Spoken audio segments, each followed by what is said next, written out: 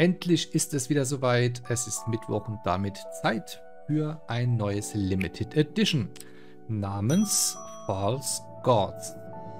Man hat es schon gesehen, 700 Exemplare wird es geben.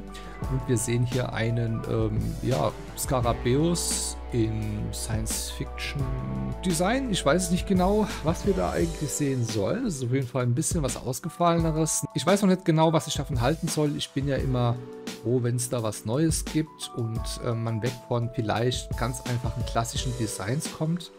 Aber hier hätte ich mir irgendwie einen klassischen Skarabäus mit Pyramiden im Hintergrund oder so eher gewünscht.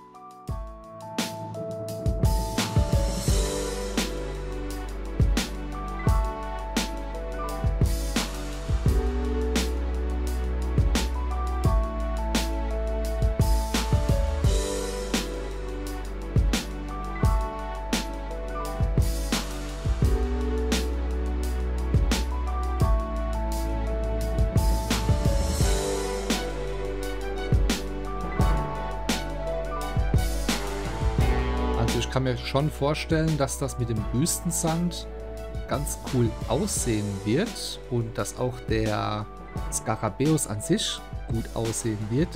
Insgesamt bin ich noch nicht überzeugt. Ich glaube, das hängt jetzt ganz stark davon ab, was aus der Serie noch kommen wird und wie das dann insgesamt in einem Set aussehen könnte. Lasst mich gerne wissen, was ihr von diesem Design haltet. Danke fürs Zuschauen und bis zum nächsten Mal. Macht's gut.